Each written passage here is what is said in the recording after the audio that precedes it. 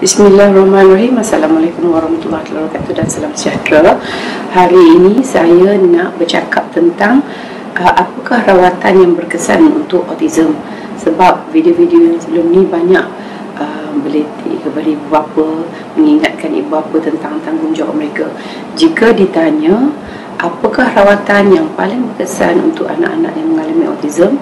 Jawapannya adalah intervensi awal yang intensif intervensi awal tu maksudnya apa-apa saja terapi ataupun aktiviti yang kita nak jalankan dengan anak kita kena jalankan seawal yang mungkin.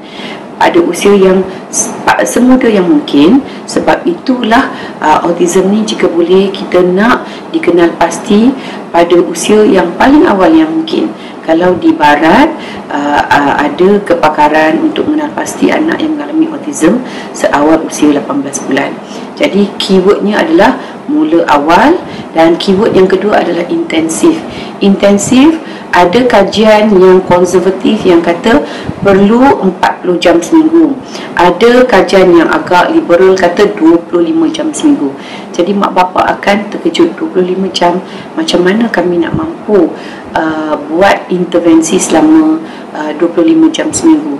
Jadi insya-Allah uh, dalam minggu-minggu yang akan datang saya akan kongsikan bagaimana kita sebagai ibu bapa boleh menjadikan every waking moment a moment for intervention. Maksudnya setiap saat kita bersama anak kita itu boleh dijadikan saat-saat untuk kita menjalankan intervensi untuk anak kita. Jadi selain daripada intensif, kita juga memerlu perlu pakai perlu guna intervensi yang memang ada kajian saintifik yang mengatakan berkesan. Jadi tak bolehlah 25 jam seminggu ni Oh saya nak balut anak saya de, Macam mami Kemudian gantung kaki atas kepala ke bawah. Oh kalau buat 25 jam Okey anak saya akan sembuh dari autism. That's not it. Ianya uh, mungkin akan memudaratkan anak kita. Sebab itu kita perlu berhati-hati ya uh, apabila memilih uh, intervensi untuk anak-anak kita.